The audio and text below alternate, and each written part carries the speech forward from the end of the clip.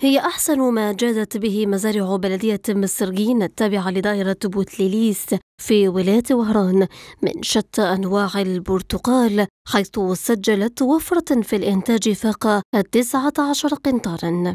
أول حمضية هي تكونتنا في في مسكين في كونها لو بارك ليمون. وهذا العام راكم تشوفوا كاين وفرة كبيرة في الحمضيات هذه ومنها الكليمونتين clémentine اللي جات العام بخير خير كبير فيها. وعلى بالكم في هذه الحمضيات هذه كاين عدة أنواع. كاين la clémentine كاين المندارين كاين الليم كاين ال Thomson عدة أنواع. جا انتاج حاجة مليحة surtout بوتليليس مسرغين هاد هاد الجوايه منا الحمد لله. السياسة التي انتهجتها السلطات في تشغيل الشباب دفعت بالكثير منهم إلى العزوف عن خدمة الأرض.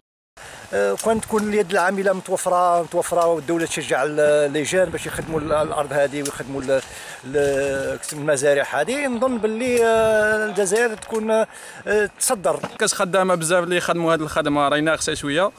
إي زعما غادي نقول لك؟ الناس راهي تتبعها صوالح ساهلين تروح هاك وهاك المشكل تاعنا راه هنا يد العاملة راهي ناقصة بزاف.